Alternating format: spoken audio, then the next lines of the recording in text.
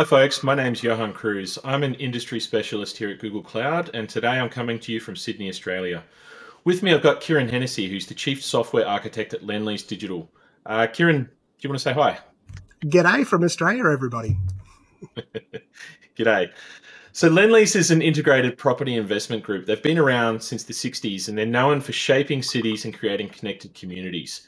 Now they're innovating in the digital space with a platform called Podium to provide the property industry with data and insights. Let's start by talking briefly about Podium. What are you building, and uh, and why is sustainability so important to everything you're doing? Well, thanks for the opportunity to talk to everybody. Um, so let me talk a little bit about Podium. So um, for us at Lendlease, one of the things that we've been really focused on for a long time is understanding how digital can be brought into the property and construction um, mode. For a long time, we've had very fragmented technology, very fragmented processes. So one of the things that we're trying to build with Podium is literally a platform to enable property construction and investment. So in the property world, the podium is the first thing that you build from a physical perspective, and it's the thing that all the rest of the value sits on top of. So, you know, the tower, the basement, those sort of things. So for us, Podium is literally a digital platform to enable not only the way that property and construction works now, but to transform the way that it will work into the future. All based around data, all based around um, looking at the next generation of how we construct, the next generation of how we operate and measure um, the property and construction process, but also real world buildings. So it's a bit about how do you design buildings, it's a bit about how you construct buildings, and it's a bit about how you operate those as you go through the past and how these things sort of come together into a virtuous circle. So for us, we're expecting it to really help Lendlease in the way that it sort of drives its business. But we're also looking at how we can help the rest of the industry, our peers, um, our customers, and our competitors, and the supply chain.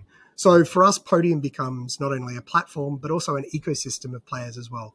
And it's one of the things we're excited about working with Google, um, not only as just a partner to help us build the technology on top of, but also a partner to help us explore some interesting, innovative, and new ways of working in the industry.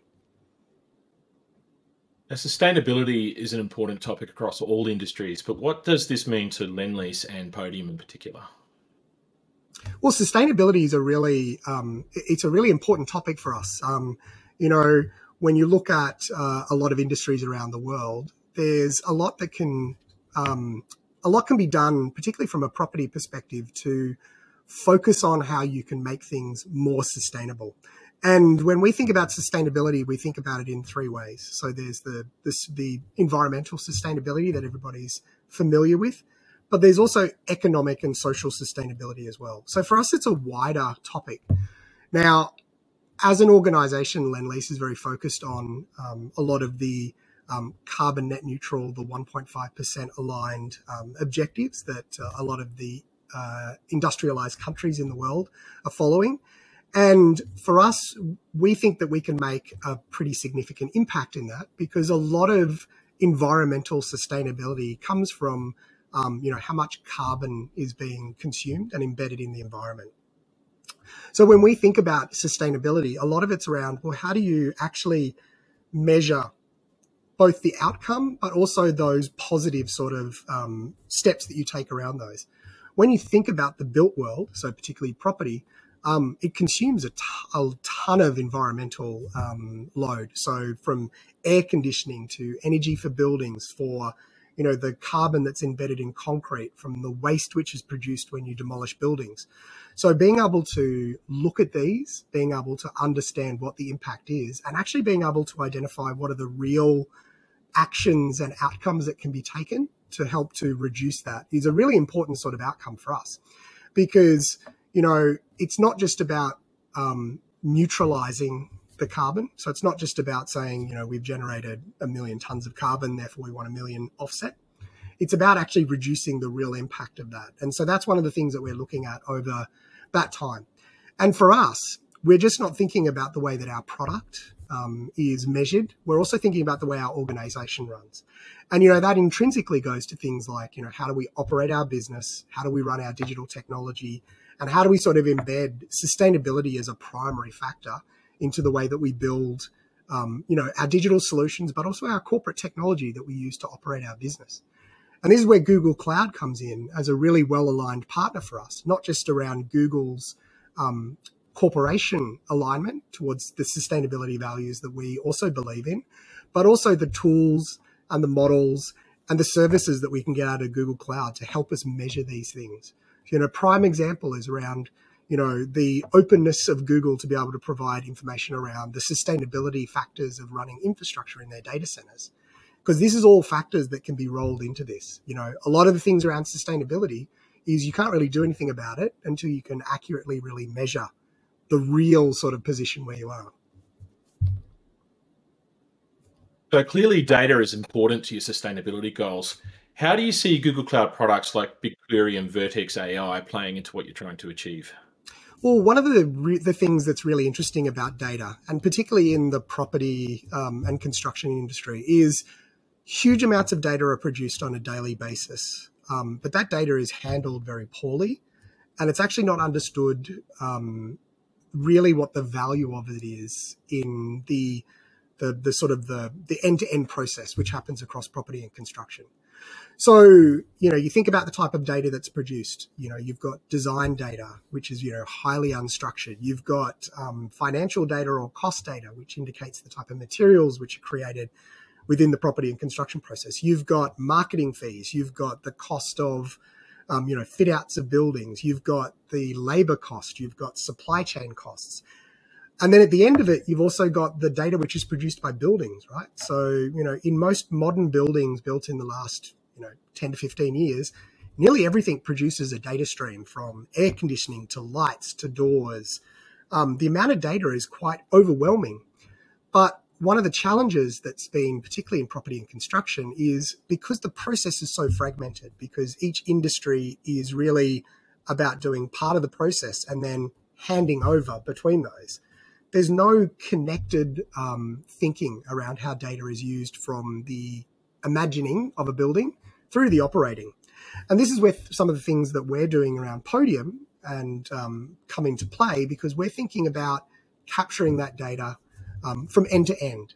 And this is where Google Cloud, with their real focus on, you know, not just being a cloud service provider, but a cloud service provider that data is at the core of, right? So one of the things that we've been quite impressed with um, when we're looking at Google Cloud is how, you know, the ingestion, the handling, the management, the transformation, and the enhancement and the analysis of data is right at the core of a lot of the services that are in Google. Um, the way that you know, particularly, uh, you know, data pipelines and BigQuery flows together in a really seamless way. The way that Vertex AI sits on top of those services, the way that you can sort of um, really quickly and easily create these type of data um, experiences and outcome becomes very important because our philosophy around looking at data across the value chain is that there are some interesting things that are hidden there which are opaque to everybody at the moment because the journey is not connected. So for us it's not just about collecting that data and understanding the things that are at the surface of it right? The operationalization of it it's about us having the tools to be able to dig in and find the value that's sort of fallen between the cracks.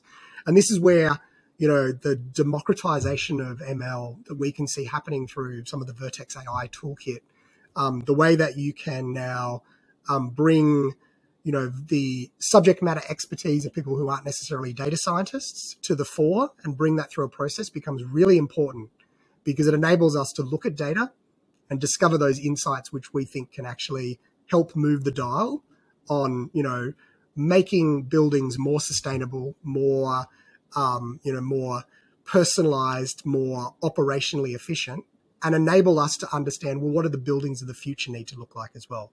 And this is really one of those things which is at the core of Podium, right? How do we look at what the world is now? How do we sort of understand where there's ways to improve in a way that is pragmatic and realistic?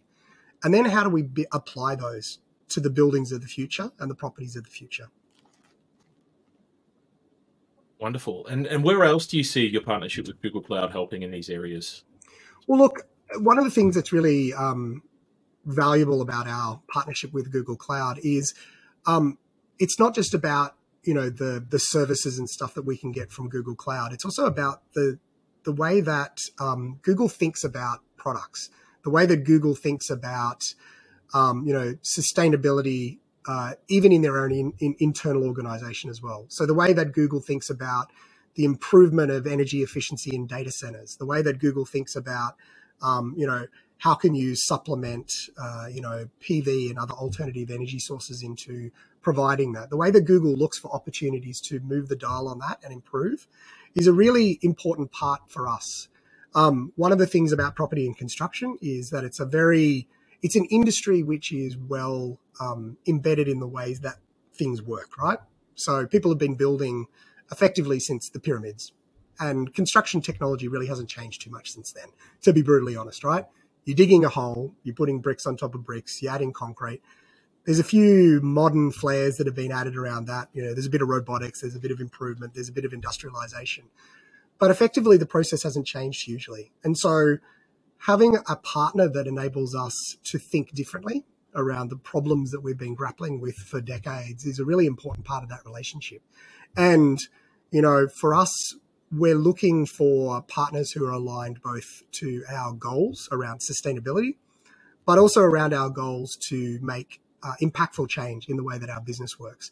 And for us, Google Cloud um, is a company that isn't afraid to experiment and innovate and fail and pivot and then move on. And that's a really important factor for us as well. So, talking about the pyramids being constructed, safety's been a, uh, I guess, a challenge ever since then, and it's a priority for Lendlease. What role do you see technology playing in the safety of people? Look, safety is a really important thing. Um, we talk a lot internally um, about safety. It's our number one priority. It's one of the things that we, you know, talk about uh, constantly because you want to be vigilant about it.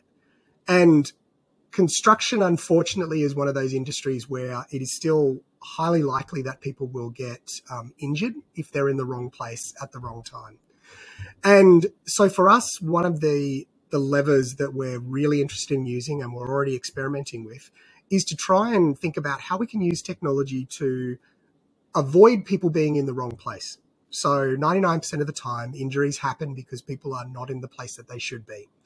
And so you know, some of the things we're looking at uh, in the Google stack around um, the Vision AI, which enables us to identify where things are where they shouldn't be, um, to understand, you know, about uh, the simulation of how people move around construction sites or shopping centers or precincts to make sure that we are um, predictively aware of where we need to reduce risk of injuries happening becomes really important. But again, it's back to data because one of the things that becomes really interesting is if you can engineer risk out of these type of physical locations before it even arrives. So you can build a place which is risk free and which is injury free. So a prime example of this is, is we're experimenting a lot around um, wooden construction.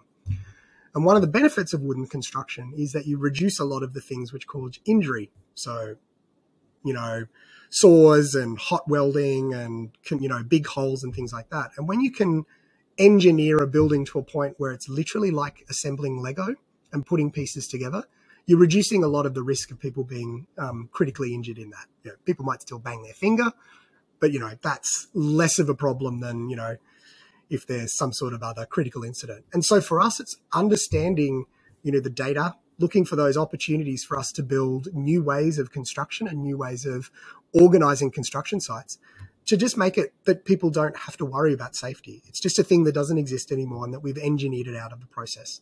And I mean, this is where, you know, a lot of the conversations that we have with, um, you know, our partners at Google really help because for, for them, understanding how you can highly automate and you can engineer these things out of the process is part of their business model. It's part of how, you know, they moved from, you know, having to have people touching servers and going to sites to this really high level of automation and reducing the need for people to do that.